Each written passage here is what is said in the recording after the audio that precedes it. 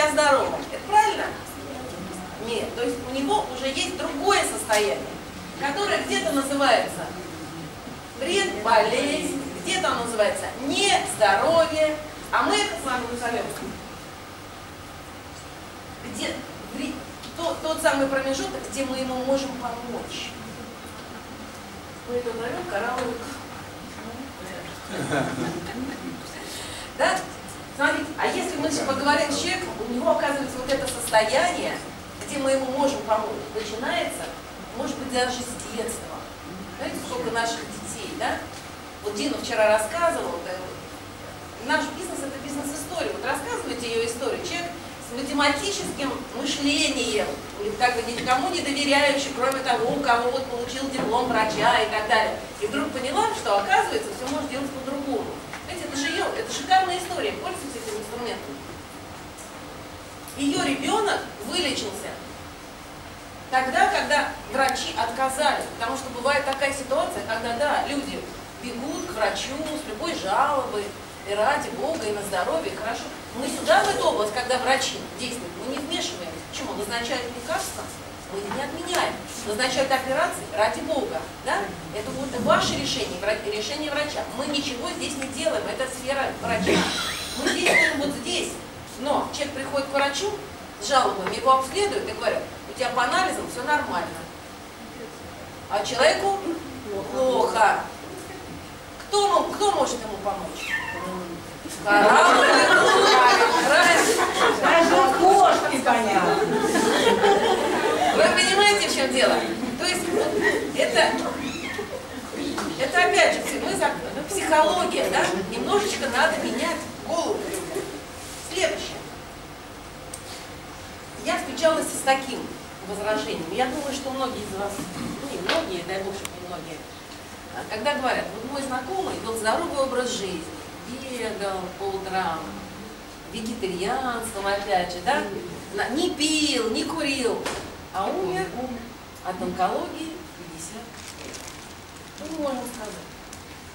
Что все правильно, и это хорошо, и это, и это хорошо. Но он, значит, не делал того, что есть у нас, что мы даем человеку. А что мы ему даем? Система. А? Нет. Ощелачивание. Вот, вот это все, что он делал, это все хорошо и замечательно. Может быть, и очистки проводил по разным методам, да? И ездил в, это, как, э, э, в санаторий и так далее. А ощелачивание он не делал. И теперь давайте поговорим, что такое ощелачивание. Вам это интересно? Да. А? Да. Потому что многие это знают, но напомнить нам никогда не интересно, правильно? У нас есть такой показатель, который называется pH. Да? Это что такое pH? Да, а что вообще такое показатель pH? Что это вообще такое? Что? Показатель количества водорода, Водорода. Правильно, показатель количества ионов водорода. А что такое ионы водорода? А? Что такое ионы водорода в каком-то соединении? Гидрант. Кислота. Химик правильно. Кислота.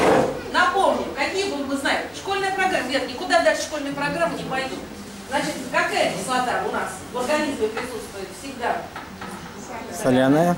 Соляная кислота, еще какие? А в организме нет, слава богу, не присутствует, да? H2SO4, серная кислота. H2SO3, сернистая. Вот этот показатель, да, он всегда говорит о чем? Что это кислота. Так договорились ученые, да? Так договорилась наука, кислота. Значит, и вот это, когда здесь 100% вот этих ионов, это состояние называется ацидоз, стопроцентное. Но мы это считаем за ноль в этой шкале. Значит, здесь увеличивается, здесь, здесь будет 14. Значит, этот полюс у нас какой, если этот кислотный? Щелочной. Что делает у нас щелочной? Что? OH. Гидроксильная группа называется. Вспоминаете школу, да? OH минус, да? Значит, вот здесь 100% кислот, здесь процент, 100% щелочь. Здесь 50 на 50. Чего? Что делает щелочь? Какие элементы мы знаем щелочные? Кальций. Калий, как он будет? OH, да? Еще что? Кальций как будет? OH. Дважды. Кальций классный. А Ощелачиватель почему? Сразу две гидроксильные группы присоединяют. Еще как вот не так много. Магний.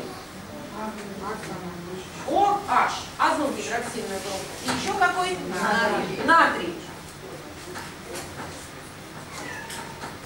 Когда у человека обезвоживание, когда у человека всевозможные проблемы, он приезжает, его привозят э, в больницу, ему делают капельницы, ставят физраствор. Что ему капает-то? Натрий хлор. Натрий хлор, физиологический раствор. Вот, ему капают натрий. Да? 9% раствор. То есть врачи-то это все знают. Я вам рассказываю не какие-то сказки. Это то, что врачи оперируют. Но оперируют они это в критических состояниях. Значит, вот здесь у нас семерочка, да? В организме есть константа, которую организм будет поддерживать всеми всевозможными средствами, чтобы с ним как бы вот до, до, до последнего. Вот если вот здесь вот мы поставим восьмерку, то вот здесь будет очень маленькая вот такой а, а, промежуточек 7, 35, 7, 45. Вот это pH крови. pH крови. Он немножечко разнится в разных данных, но я беру средний 7,35, 7,45, чтобы вы так себе голову не ломали. Значит, а, за счет чего он будет это поддерживать? А? Если вы не вводите постоянно вот эти самые элементы, калий, кальций, магний, натрий, то организм начинает у вас это вымывать. Но есть такой элемент, вот этот, который в избытке присутствует где? В нашей пище, натрий. Он присутствует в нашей пище. И когда вы встречаете человека, который обильно солит свою еду, любит все солененькое, это говорит о чем?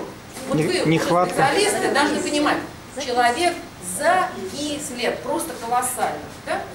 Значит, ну, окисле... ощелачивание натрием – это самое последнее дело. Не зря этот э, соль называют белая смерть. Значит, э, на лекциях мы подробно разбираем, почему нельзя ощелачиваться натрием. Значит, если организм не получает вот этих самых элементов, то он начинает вымывать его из всевозможных э, органов и тканей. Откуда у нас будет вымываться кальций? Кости это что у нас? Остеопороз. Волосы, да? Ногти. волос. ногти, мышцы. Огромное количество кальция находится в мышцах. Без кальция, без кальция магниевого насоса не, мышцы вообще не работают, не проходит э, нервный импульс к, пом- э, к мышцам. Человек живет год, работает, и чувствует, ну, у него слабость и так далее. В ему очень хочется в. Едет за границу, едет на курорты, отдыхает, вспомните советское время, своих родителей, да, санатории. Приезжает, а у него вся та же слабость. Почему? Кальций вымывается, он как вымывался, как, как и был он закислен, так он и закисляется. Теперь смотрите, что происходит, когда организм закиснет. Когда происходит закисление организма. Оно происходит закисление у нас когда? Самое удивительное, что бы мы с вами ни делали, и даже когда мы спокойно находимся, мы все время закисляемся. Почему? Потому что мы дышим. А? У нас реакция с кислородом. Нет. Мы с вами все время закисляемся. Почему? Потому что наш организм это биохимическая фабрика. В ней каждую минуту проходят миллионы биохимических реакций. И для каждой реакции нужна энергия. Откуда мы с вами получаем энергию? Из пищи. Что в пище нам дает энергию? Быструю, хорошую энергию. Что? Сахар. Что такое сахар? Глюкоза. То есть мы получаем энергию из глюкозы. Что такое глюкоза? Это не просто так. Вот взяли, скушали там, сладкую конфетку, шоколадку, и у нас сразу появилась энергия. Идет очень длинная цепочка всяких превращений. И сахар, когда в этой цепочке превращается в энергию, у него все продукты его промежуточного обмена – это кислоты. Вы занимаетесь спортом. Нетренированный человек пришел в спортивный зал или там на участке, как в России, например, в лопаты, да, на, на своем огороде поковырялся, или, значит, на велосипед сел, до этого не ездил, после этого прошелся, что болит? Все. Мышцы болят. Почему болят? Что такое молочная кислота? Что такое, мол- откуда она берется, молочная кислота? Работа мышц. Что в этой работе важно? А что они работают? Энергия. Откуда мы получаем энергию? Из глюкозы. Промежуточный про- про- продукт глюкозы – молочная кислота. Но она образуется в том случае, если ей не хватает для этого а, кислорода. А когда мы не, не тренированные, у нас слабая э, система капилляров, кислорода мало и образуется много молочной кислоты. Это один из продуктов, побочный продукт глюко- глюкозы. То есть вы это все на себе испытывали. А вот когда вы хорошо тренированные или просто там пробежались, или еще что-то, у вас ничего не болит, но процессы-то идут.